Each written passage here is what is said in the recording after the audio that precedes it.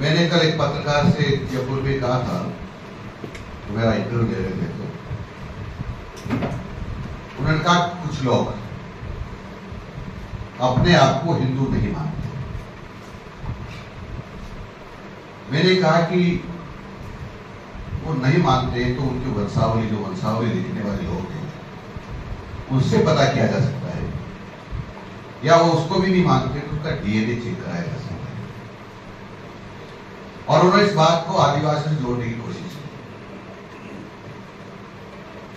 कि देश में रहने वाले चाहे आदिवासी हो, चाहे अनुसूचित जाति के लोग हो, चाहे ओबीसी हो, चाहे महिला हो, चाहे पुरुष हो, चाहे बालक हो जवान हो, सभी हमारे लिए सम्माननीय हैं और विशेषकर आदिवासी समाज के लोग, हमारे श्रेष्ठतम लोग हैं।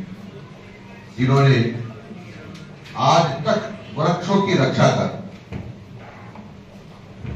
हम सब लोगों को प्राण वायु देने वाले पेड़ों को ज़िंदा रखी, उनका रक्षा करके पूरे समाज, प्रदेश और देश की रक्षा किए और उसके कारण से हम सब लोग ज़िंदा हैं।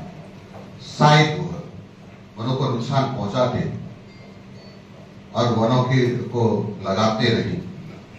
आज हम इस से नहीं बैठे होते। इसलिए मेरे को ये कहने में कोई